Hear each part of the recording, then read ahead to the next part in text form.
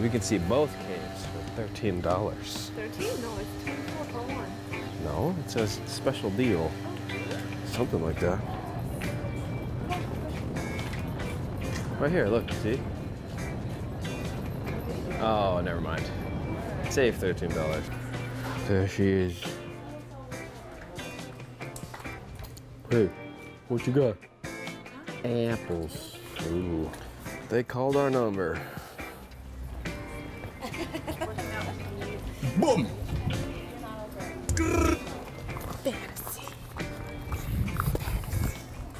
Fantasy Cave was first discovered back in 1909 by a very wealthy man by the name of Arthur Haycock. And the Haycock family back in the day just owned so much land, they didn't really know what to do with all of it. So it was unfortunately overgrown with like trees and bushes and the likes. And one day Arthur decided, well, this is looking just a little bit too shabby for my liking. So he walked over, pulled out some bushes and shrubs, and found this massive gaping hole of darkness.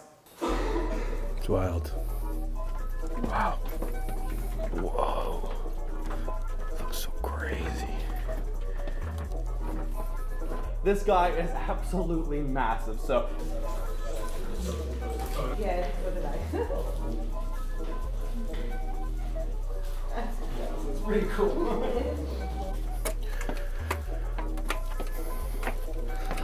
Steep. Steep.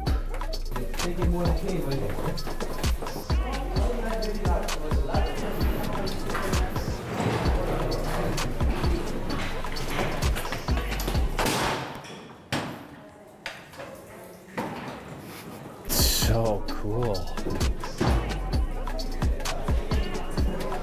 Oh my lord. Look at it. So deep. I'm the tallest person, so it's not as much of an issue for me. But if you're a little taller, be careful.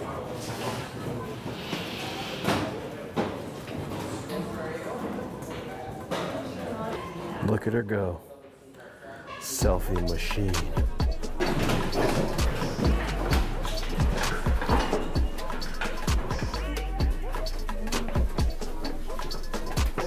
Alright, thanks for coming, right? You just trade in your paper ticket at the window. Okay. And you leave it under the pink and white tent.